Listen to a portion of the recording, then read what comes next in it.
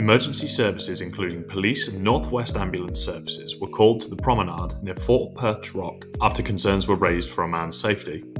Arriving around 9:35 p.m. on Sunday, January the 15th, they found a man in his 30s had fallen and suffered serious injuries.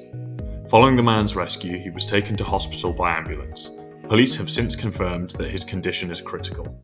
We can confirm that emergency services were in New Brighton following a concern for safety last night, Sunday the 15th of January.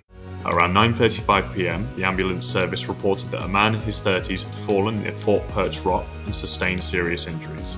He was taken by ambulance to hospital and is described as in critical condition.